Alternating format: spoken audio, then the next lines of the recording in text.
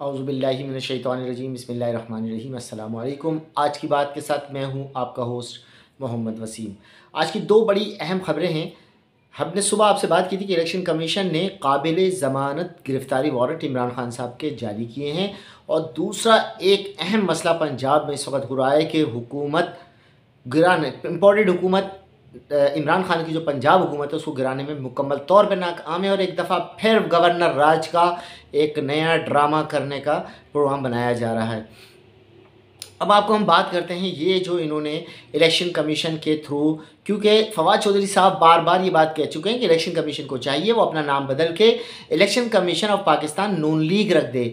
क्योंकि इसकी जितनी भी कार्रवाइयाँ हैं, वो इमरान खान के ख़िलाफ़ होती हैं या दूसरी पार्टियों के ख़िलाफ़ होती हैं। नून लीग का बाकायदा तर्जुमान है ये।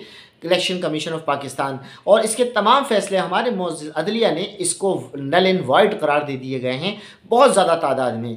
अब अगर आप ये देखें कि काबिल ज़मानत है, नाकबिल ज़मानत नहीं है, सिर्फ़ ये चेक करना चाहते हैं कि इमरान खान ने जो ऐलान किया था, जब 9 अप्रैल को उनकी हुकूमत ख़त्म हुई और उसके बाद सेकेंड डे पब्लिक निकल कर बाहर आ गई तो इमरान खान ने अपनी हुकूमत छोड़ने से पहले ये कहा था कि संडे को सब पब्लिक बाहर आए और ताकि वो एहतजाज करे या वो अवामी मुजाहरा करे। तो वो जैसे ही उनको, उनकी हुकूमत ख़त्म हुई तो सेकेंड डे अवाम निकली और उन्होंने भरपूर अंदाज में अपनी अहमियत, इस पहली दफ़ा पाकिस्तानी अवाम ने दुनिया के सामने ज़ाहिर की कि यह हम ज़िंदा कौम हैं, हम पाइंदा कौम हैं।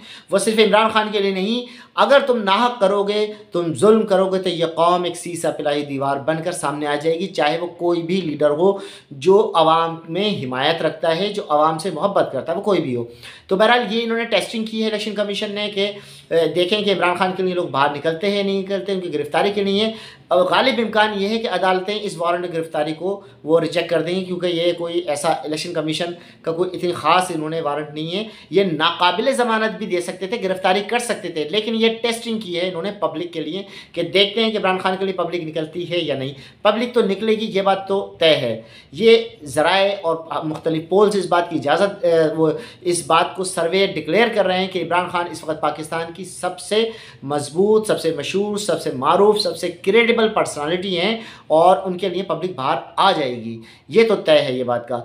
और अब देखते हैं कि इसमें हुकूमत क्या करती है। दूसरी जो अहम बात है, वो है गवर्नर राज की। देखिए, गवर्नर राज की तैयारियाँ कर रहे हैं ये, और आज भी और कल रात में भी इनकी डिस्कशन हुई है। वजह ये हुई है कि नून लीग के अपने एमपीए और जरदारी साहब के अपने जो सात एम पी से मौजूद है, पंजाब इसम्बली वो भी गायब हो गए उसमें से भी चंद इधर उधर हो गए फुदकने की कोशिश कर रहे हैं, क्योंकि उनकी भी समझ में कुछ नहीं आ रहा कि अगर इमरान खान के मुखालिफ गए तो हम अपने इलाकों में भी जा सकते हैं, नहीं जा सकते। और बीस अरब रुपए का गालिब इम्कान है कि इम्पोर्टेड हुकूमत शहबाज शरीफ की, ये उनको पैसे दे। गरीब को आटा नहीं है, गरीब के पास रोटी नहीं है, गरीब के पास पहनने के लिए कपड़े नहीं हैं, गरीब के पास खाने के लिए कोई दालें चावल नहीं है, लेकिन अलल्ले, थलल्ले और सारी इन इन इकतदार के, ऐवान और इकतदार की जो मगरमच्छ हैं, उनको देने के लिए पैसे हैं। आपके पास मर्सिडीज़ गाड़ी को लाने के लिए, उसको इम्पोर्ट करने के लिए पैसे हैं, एलसी खोलने के लिए। लेकिन जो जेनवन इम्पोर्टर हैं, जो पाकिस्तान में बड़ी तादाद में रॉ मटेरियल मेडिसन आपका ट्रेड मिल्स और दूसरा ऑटोमोबाइल्स कपास और आपका धागा सारा इंपोर्ट करते हैं। उनके लिए आपके पास पैसे नहीं है, माशाल्लाह से। इन अलल्ले थलल्ले के लिए और इन अयाशियों क्योंकि आपको पाकिस्तानी आवाम से कोई गर्ज नहीं है। आपको पाकिस्तानी अवाम से कोई मोहब्बत नहीं है। आप पाकिस्तानी अवाम तो शायद लगते नहीं, क्योंकि आप इलाज बाहर कराते हैं, आप रहते बाहर हैं। सिर्फ़ इकतदार का मज़ा लूटने के लिए आप पाकिस्तान आते हैं। चाहे उसमें फजल रहमान हो चाहे उसमें नवाज़ शरीफ हों जरदारी हों, सारी जायदादें सबकी बाहर हैं और माशाल्लाह अब तो एम क्यू एम क्यू दड़ों भी सारे एक हो रहे हैं तो देखते हैं क्या होगा। अब गवर्नर राज जेल लगा पाते हैं या नहीं?